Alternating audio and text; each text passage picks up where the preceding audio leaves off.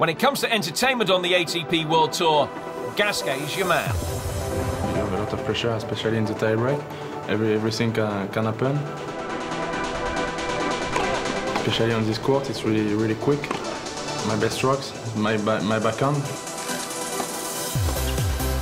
When I play with it, uh, I think I can play very good, so that's my best stroke. So when I play with the backhand, I have no, pro no problem. Even with the pressure, I think I can play, and that's, that's important for me. Ah, it's important to serve well and uh, to return. And uh, after, I will try to, to win some matches for the confidence. With a career high ranking of seven, Gasquet has been one of the players most likely to break through to the very top. In France, he's a national treasure. A child prodigy, he appeared on the front cover of a French tennis magazine when he was aged only nine. Don't know if I am popular, but uh, we are in France. I played a lot this tournament, so I always played well here in Monte Carlo. So no, I love this tournament. So when I were, were a child, I came to, to watch it when I was nine, 10 years old. So no, I really like to, to play there. And uh, yes, there are a lot of people, and that's really nice. That's one of the most beautiful tournaments in the year. After making the semi-finals in Rome, Gasquet made an impact at Roland Garros, reaching the second week for the first time. It's the tournament I prefer in the world because I play with my, with my friends, with my family, with the French crowd. And after that success in Paris, Gasquet was keen to build on this elsewhere in his homeland. In Metz, he went in search of his third ATP World Tour singles title on French soil after previous victories in Lyon and Nice. He clearly is at his best in front of his adoring fans. Richard Gasquet is um, so beautiful when he plays, so beautiful. I have the regret, I think he, he could um, he could be even better because he is so talented, you know, and it's such a pleasure to, to see him playing uh, at, at, his best. A very talented player, very inspiring, I think, for, for children who, wants to, who want to play tennis. Talented. You know, in the official uh, program, we just put a, a, picture of Gasquet when he was nine years old. Look at his uh, technique and his backhand. It's just a joke.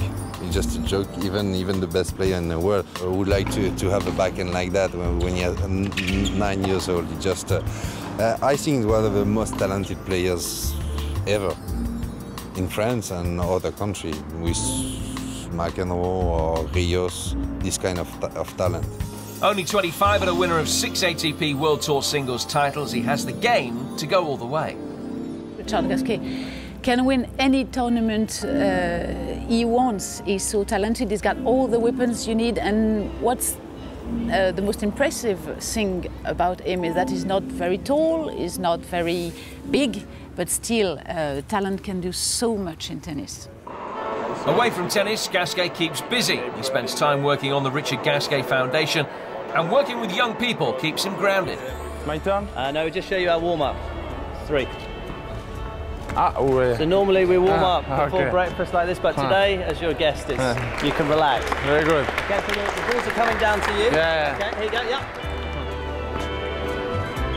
It's been a mixed season for the Frenchman, but he is still in contention for the ATP World Tour Finals. Can he make it?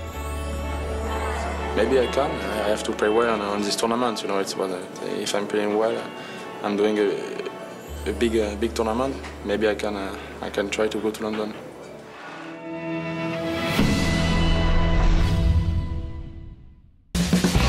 Next week on ATP World Tour Uncovered, the next big thing. Coach Jack Reeder gives us the inside track on 22-year-old Ukrainian Alexander Dolgopolov. And we'll have all the action and drama from the PTT Thailand Open and Malaysian Open Kuala Lumpur 2011 as the Asian swing gets underway.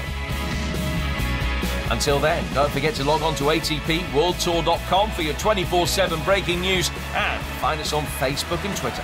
We'll see you next week.